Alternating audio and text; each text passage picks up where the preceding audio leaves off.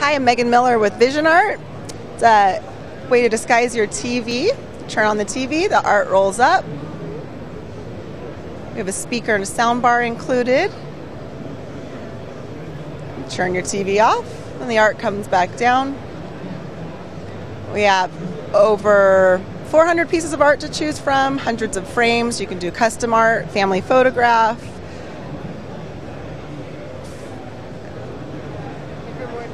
For more information. Go to our website www.visionartgalleries.com.